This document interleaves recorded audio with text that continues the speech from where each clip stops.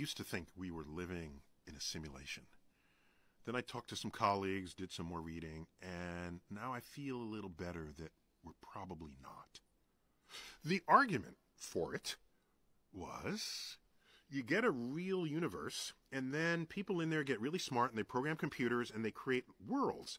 And the people in that world don't know that they're fake. All right. And then they evolve and they develop computers and they create a world and they create a world. And this goes all the way down.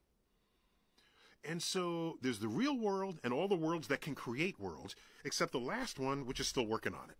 Eventually they'll get there. All right. Throw a dart. Chances are you're going to hit a world that's simulated.